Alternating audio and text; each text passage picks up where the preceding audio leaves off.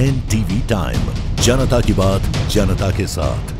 BJP के Lok Sabha speaker रही सुमित्रा महाजन एवं शहर के प्रथम नागरिक इंदौर निगम के महापौर पुष्यमित्र भार्गव एवं शंकर लालवानी आकाश विजय वर्गीय के द्वारा धनतेरस के अवसर पर माँ अहिल्या की प्रतिमा पर माल्यार्पण कर इंदौर रहेगा नंबर वन की तर्ज पर रंगोली बनाकर इंदौर शहर वासियों को स्वस्थ और फलीभूत रहा। इस कामना के साथ बधाई दी गई। धनतेरस के इस पाँच दिवसीय दीपोत्सव पर पुष्यमित्र भार्गव द्वारा रोड पर बैठे जो भी व्यवसाय है उन पर कोई कार्रवाई नहीं करने का आश्वासन दिया गया।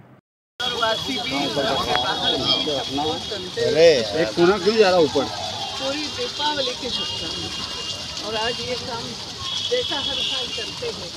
कल बहुत सारे मंदिरों में साफ़ सफ़ाई करी कार्यकर्ताओं ने आज यहाँ है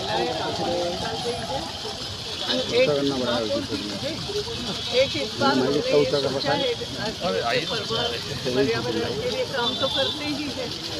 जैसे हमने इसके पौधे लगाए कपूर के कपूर के पौधे लगाए। तुलसी का तो हर साल लगाते ही है जहाँ जहाँ जाएँगे देखते ही लगाते हैं। तुलसी की क्यारियाँ भी बगीचे में बन रही है। इस बार हमने सोचा है केवल ये सोचा है। कि ये सुना है हमने कि वहाँ काशी विश्वनाथ में वो जितने फूल निकलते हैं, उससे अगरबत्ती का ये मसाला बनाते हैं ऐसा कुछ इंदौर में ये कहाँ तक सफल होगा मैं नहीं कहूँगा मगर करने की कोशिश हमें करना है कि इंदौर के सभी मंदिरों से फूल पत्ते एकत्रित होकर के, अगर उसका कहीं हम मसाला बताओ धूप स्टिक बना सकें अगरबत्ती थोड़ी कठिन जाती, मैंने कुछ लोगों से बात करी। अगरबत्ती नहीं बना सकते तो धूप स्टिक भी अगर हम बना सकते आजकल धूप स्टिक पसंद करते तो हम इसको अगले साल के लिए अपने रखा है कि इस बार सोचा है क्योंकि इसकी बहुत सारी तैयारी करना पड़ेगी। मगर इंदौर में भी ऐसा कुछ हो सकता है क्योंकि खजराना का मंदिर है, बड़ा गणपति। कई सारे ऐसे मंदिर हैं, बहुत उसमें फूल निकलते हैं।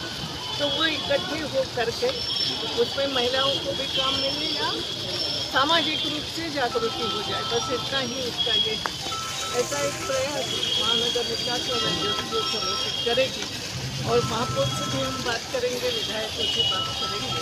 और अगले साल तक अगर ये हो तो संभव हो जाएगा सबके सहयोग धनतेरस का दिन है किस तरीके से मनाया जा रहा है राजवाड़ा आए हैं के अंदर भी पीछे होना तो पाँच दिवसीय दीपोत्सव पर्व जो धनतेरस की दिन से शुरुआत होती है।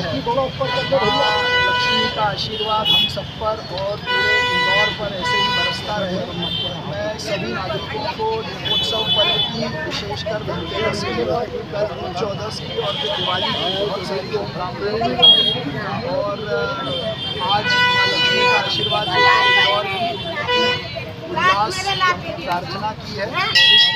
ऐसे ही स्वस्थ रहें धन्य धान्य से परिपूर्ण रहें यही कामना की है।